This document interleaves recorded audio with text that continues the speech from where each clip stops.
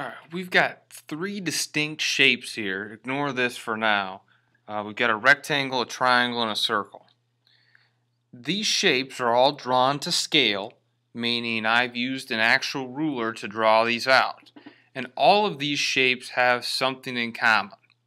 And what is in common with these shapes is they all have the exact same area. Uh, or in other words, they all take up the same amount of space.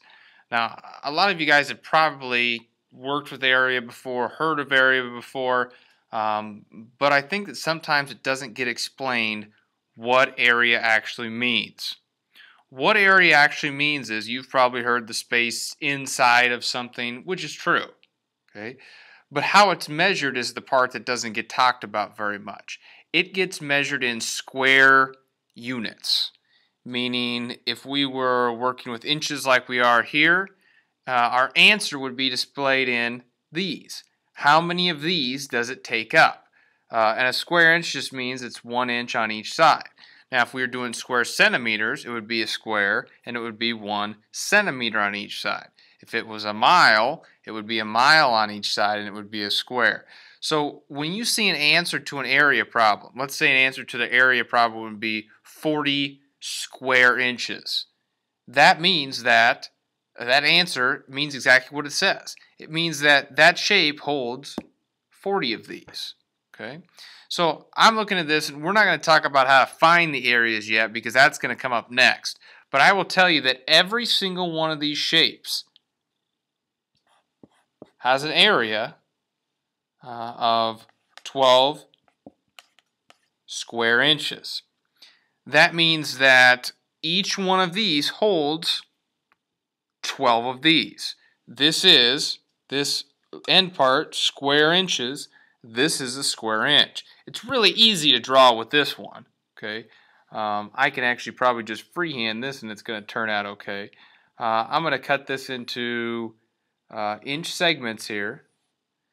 And if you can count up, we've got 1, 2, 3, 4, 5, 6, 7, 8, 9, 10, 11, 12. We've got 12 square inches. So it's not a coincidence. The answer to this would be 12 inches squared, which means that it actually holds 12 of these. Now, you kind of have to visualize the other two because it's not as neat and easy to draw. It's not as neat and easy to draw 12 of these in a circle. And you're thinking, well, they have rounded sides. How does that fit in? Uh, they don't have to be perfect. I mean, they could be broken up and shoved in there. And But a grand total, if you took everything out and made it into these, 12 would fit into this.